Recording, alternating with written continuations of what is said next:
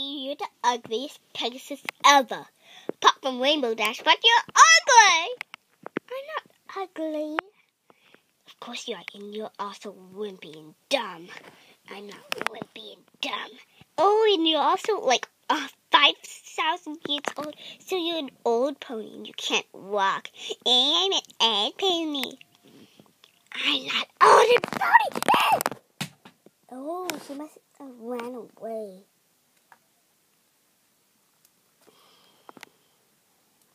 I don't see it. Ah!